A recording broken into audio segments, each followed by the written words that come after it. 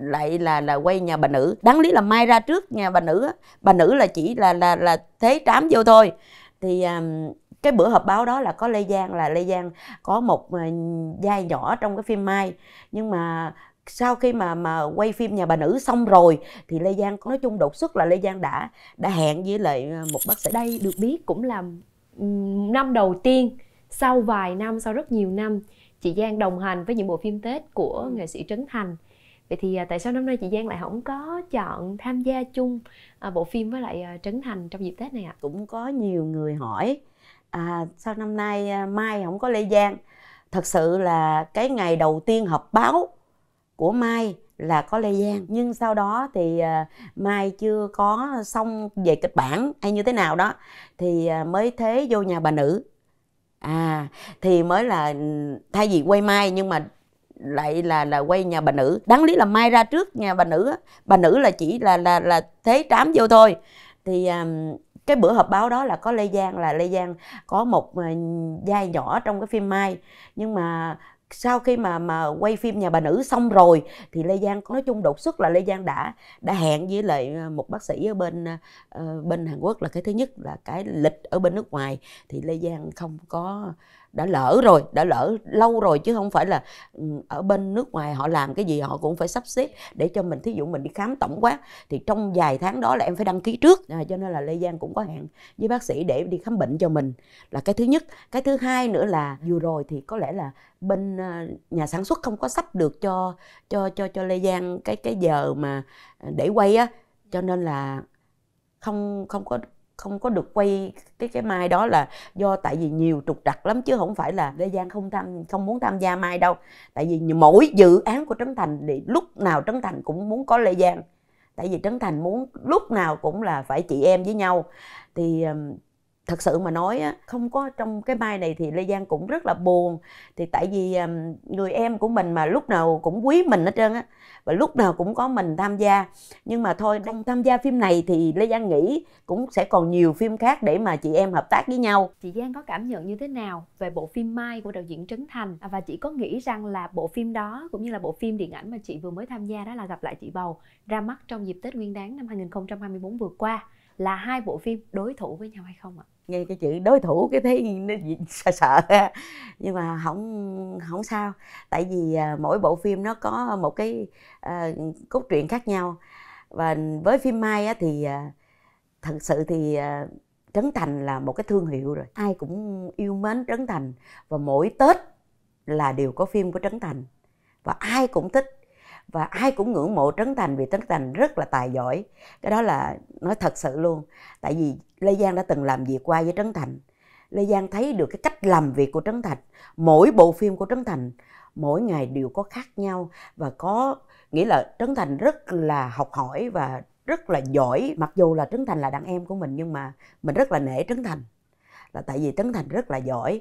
Cho nên là vừa qua là phim Mai, là một bộ phim đầu tay của Trấn Thành làm đạo diễn luôn. Cho nên là Lê Giang đi xem phim, thì Lê Giang về nhà Lê Giang cũng nghĩ rằng à trời ơi, Thành giỏi lắm. Thành, coi như là Thành làm được tất cả và đây là bộ phim là tâm đắc nhất của Thành. Cho nên là lúc nào chị cũng cũng cũng cũng quý Thành và cũng nghĩ là một người em quá nể cho nên uh, sau khi mà phim mai ra công chiếu như thế này tới bây giờ thì khán giả ai đi xem về cũng khen cũng thích. Đây là một bộ phim tình cảm mà mà thành đã dành hết tâm huyết và để làm một bộ phim mai như thế này. Đối với lê giang thì lê giang chỉ biết là rất là nể phục trấn thành còn về à, phim tết năm nay của lê giang à, đụng với lại phim mai của trấn thành là phim gặp lại chị bầu. Thì mỗi bộ phim thì đối với lê giang thì lê giang thấy mỗi cái cảnh khác nhau. Phim mai là phim tình cảm trai gái còn phim gặp lại chị bầu là phim tình cảm gia đình mẹ con.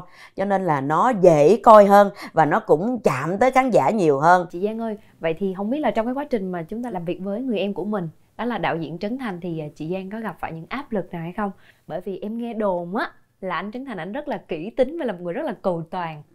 Vậy thì Đúng chị rồi. có gặp áp lực nào trong quá trình làm việc với Trấn Thành không ạ? Ai mà chưa làm việc với Trấn Thành á không hiểu Thành là áp lực lắm, áp lực là đến lúc là quay không nổi luôn đó tại vì à, à, thành á, là kỹ lắm à, kỹ từng cái luôn à, từng lời thoại với lại từng cái nét diễn. Và trong cái lời thoại mà không dính với lại cái cái nét diễn thành cũng bắt quay lại nữa. Mọi người cứ ra xem phim của trấn thành đi là mọi người thấy diễn viên diễn khác với những người à, diễn viên khác nữa là nó không có giống như nhau. Và hình như là diễn thì hình như là giống trấn thành hơi nhiều cho nên là lê giang cũng cũng có nhiều cái diễn cũng bị bị bị diễn giống trấn thành hơi nhiều là tại vì do thị phạm của trấn thành quá nhiều. Cho nên là bị hơi hơi bị nhiều. Cho nên tại sao mà lê giang muốn mình phải à, không phải đóng cung về trấn thành nhiều mà phải đi ra ờ, được các đạo diễn mời nhiều là cái niềm hạnh phúc đến với mình. Tại vì mình diễn như thế nào thì đạo diễn mới mời mình nhiều được chứ. Rất là nhiều những bình luận cũng như là những uh, lời nói ở ngoài kia nói rằng là thành công của nghệ sĩ Lê Giang. Thì uh, bên cạnh cái sự may mắn dựa vào nghệ sĩ Trấn Thành rất là nhiều. Vậy thì chị nghĩ như thế nào về những uh, nhận xét này? Đây là một cái câu hỏi mà cũng rất là nhiều người hỏi và cũng có nhiều người người ta để trong lòng người ta cũng không dám nói ra. Là tại vì người ta cứ nghĩ là Trấn Thành, Lê Giang được hôm nay là nhờ Trấn Thành. Và thật sự hôm nay Lê Giang cũng nói luôn Từ khi mà Lê Giang trở về nước tới bây giờ Trấn Thành đã cho Lê Giang rất là nhiều cơ hội. Những vai diễn ngay được ngày hôm nay, một phần là do Trấn Thành và một phần Lê Giang cũng khẳng định mình là một người diễn giỏi, cho nên Trấn Thành mới đặt niềm tin ở Lê Giang. Sự phối hợp của Trấn Thành và Lê Giang mới được Lê Giang ngày hôm nay. Vẫn không quên Trấn Thành.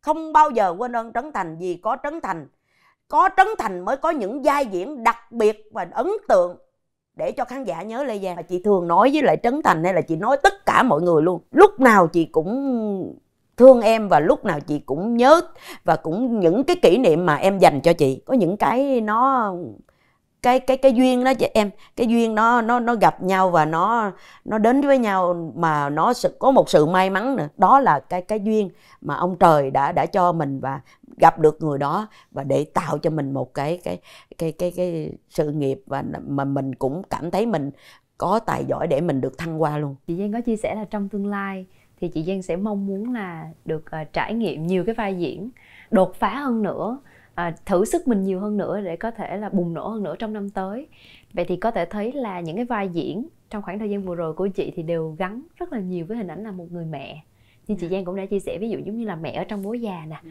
mẹ ở trong nhà bà nữ và mẹ ở trong bộ phim um, gần đây nhất đó là bộ phim gặp lại chị bầu như vậy thì à, người mẹ Lê Giang ở ngoài đời thật thì như thế nào ạ